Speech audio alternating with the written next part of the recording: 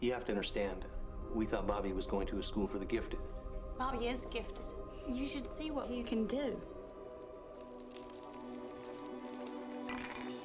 Have you tried not being a mutant?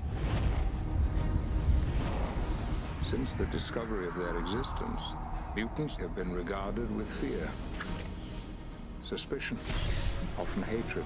Drop the knives and put your hands in the air. I can't. Are they the next link in the evolutionary chain?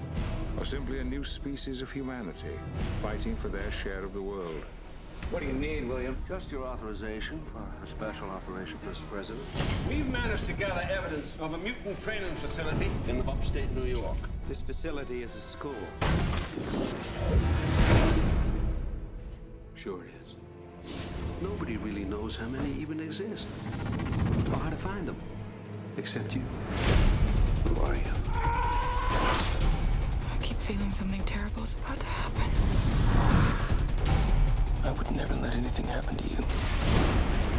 It's about to get very cold in here. I need you to read my mind. Sometimes the mind needs to discover things for itself. They say you're the bad guy. Is that what they said?